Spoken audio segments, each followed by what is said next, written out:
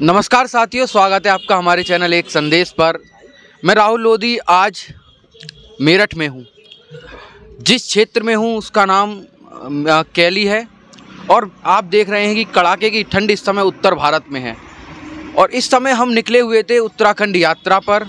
और उत्तराखंड यात्रा से लौटते वक्त हमें यहाँ अलाप पर तापती हुई जनता मिली, क्योंकि उत्तर भारत की ठंड इस समय अपनी जोरों पर है। और 22 जनवरी को श्री राम मंदिर का प्राण प्रतिष्ठा भी होनी है और साथ ही साथ मिशन 2024 के लिए सभी पार्टियाँ भी अपना ज़ोर भर रही हैं। तो आज चाय पे चर्चा न होकर हम करेंगे अलाप पर चर्चा। और हमारे साथ बहुत से लोग जो इस क्षेत्र के हैं, वो मौजूद हैं, उनसे बात करेंगे कि आखिरकार राम मंदिर और मिशन 2024 में यानी कि मोदी सरकार तीसरी बार रिपीट करेगी या नहीं? तो हमारे साथ अंकल जी हैं इनसे जानते हैं। अंकल जी आपका क्या नाम है? मेरा नाम धर्मेंद्र त्यागी है। मैं तो, यहीं का निवासी हूँ। तो अंकल जी बाईस जनवरी को प्राण प्रतिष्ठा होनी है राम मंदिर की। आप राम मंदिर को किस तरीके से देखते हैं? हम राम मंदिर को इस तरीके से देखते हैं कि 500 साल बाद हमारे राम अपने स्थान पर आ रहे हैं अपने मंदिर में आ रहे हैं। और रहा सवाल 2024 का, वो एक अलग मिशन है। राम मंदिर अपने आप में एक अलग मिशन है। ये एक बहुत गौरव का विषय है हम सनातनियों के लिए कि हमारे राम मंदिर अपने स्थान पर प्रतिष्ठित हो रहे हैं। अच्छा बहुत से लोग ये कहते हैं, राम मंदिर की जगह यूनिवर्सिटी बन जाती या कोई हॉस्पिटल बन जाता तो काफ़ी अच्छा होता, उससे काफ़ी लोगों को मदद मिलती। लेकिन अब राम मंदिर बन रहा है तो कहीं ना कहीं इस पर कोई पार्टी अपना अलग राजनीति करती है तो कोई अलग राजनीति करती है। इसको आप किस नज़रिए से देखते हैं? देखो, राम मंदिर हमारे गौरव का प्रतीक है और रहा सवाल यूनिवर्सिटी या कॉलेज बनने का, वो भी बन रही हैं, उनके लिए अलग जगह है। हमारे यहाँ मंदिरों के लिए अलग जगह है और आज से नहीं, पुरातन समय से मंदिर हमारे यहाँ बनते आए हैं। तो मंदिर और यूनिवर्सिटी को इनको जोड़ना मेरे ख्याल से ठीक नहीं है। ये एक अलग विषय है, वो एक अलग विषय है। तो आ, आप कब जा रहे हैं राम मंदिर? बाईस में तो नहीं जा पाएँगे क्योंकि काफ़ी भीड़ है। लेकिन जैसी वहाँ थोड़ा सा भीड़ हल्की होगी तो ज़रूर जाएँगे। तो जैसा कि अब मिशन 2024 सभी पार्टियाँ शुरू कर रही हैं राहुल गांधी विकास न्याय यात्रा भी शुरू करने वाले हैं। इधर मोदी जी भी राम मंदिर का सहारा लेकर अपना चुनावी गणित फिट करने में लगे हुए हैं। तो क्या लगता है आपको कि मेरठ से पूर्ण बहुमत से बीजेपी सीटें निकलेंगी या फिर राहुल गांधी अपना वर्चस्व स्थापित करेंगे? राहुल गांधी तो कहीं भी लाइन में नहीं है। मेरठ ही नहीं पूरे इंडिया में मुझे लगता है राहुल गांधी का कहीं कुछ नहीं है। और रहा राम मंदिर के उससे चुनाव फिट करने का तो मोदी जी को राम मंदिर की तरह से चुनाव फिट करने की ज़रूरत नहीं है क्योंकि उन्होंने इतने विकास कार्य किए हैं कि 2024 में तो निश्चित रूप से उनको आना ही आना है। बिल्कुल आना। कोई उनके आसपास भी नहीं है पार्टी। देखिए एक और अंकल जी हैं। अंकल जी आप इधर आइए। इधर आइए। बैठो। बैठो।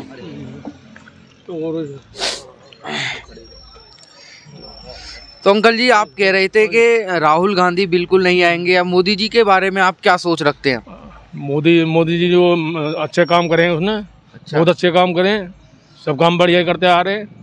इसलिए सबके मन में जो मोदी जी बसे हुए हैं इस टाइम पर 2024 में मोदी जी आऊँगा वो नहीं आऊँगा कोई भी बस। अच्छा हाँ। और राम मंदिर को लेकर आप क्या सोच रखते हैं? अच्छी बात है। अच्छा अच्छी गौरव का विषय विषय है ये मतलब राम मंदिर बनना कई सौ साल पह- पहले यहाँ मंदिर मंदिर मस्जिद का मुद्दा चल रहा।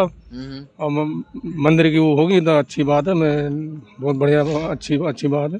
अच्छा एक बात और आप बुज़ुर्ग भी हैं और राम मंदिर जिसकी नींव पर बन रहा है पहले बाबरी मस्जिद हुआ करती थी।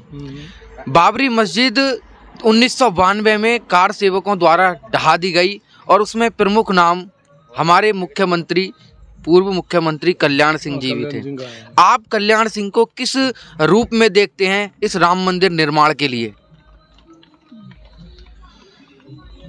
कल्याण सिंह भी जो है, अपने टाइम के जो अच्छे मुख्यमंत्री रहे हैं, और काम उन्होंने अच्छे राम मंदिर बनने की जो नींव है वो कल्याण सिंह ही थे। हाँ उन्होंने अपनी सरकार का त्याग किया सरकार बर्खास्त हो गई थी उसके बाद लेकिन उन्होंने जो काम कोई नहीं कर पाया वो कल्याण सिंह ने करा दिया।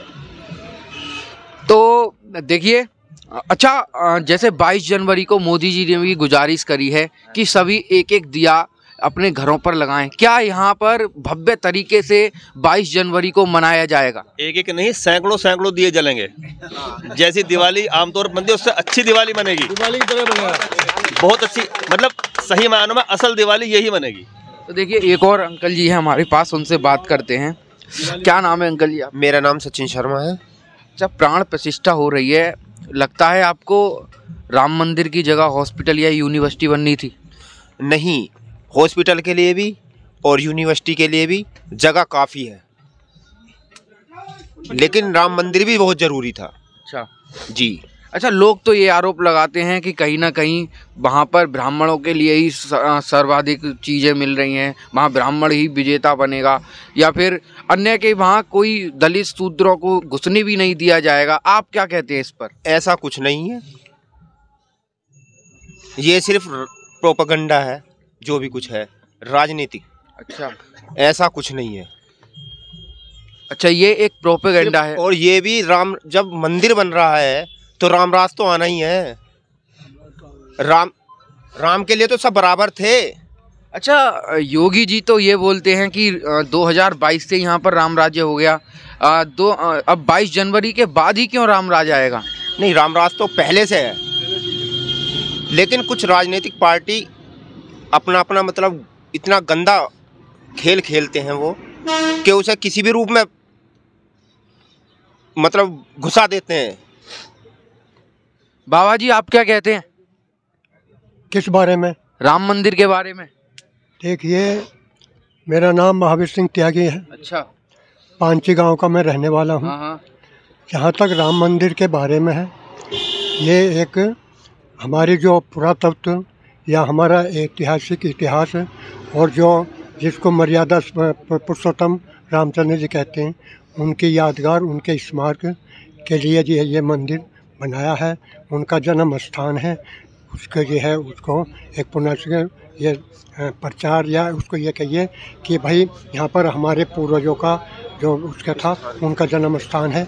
उनको और बहुत ज़रा सौंदर्य रूप से बनाया जा रहा है। मेरा तो इस पर ये कहना है। तो आप घर पर क्या करने वाले हैं ऐसा प्रमुख जो बाईस जनवरी को हो? ठीक है। यहाँ तक, देखिए 22 जनवरी की बात है। ये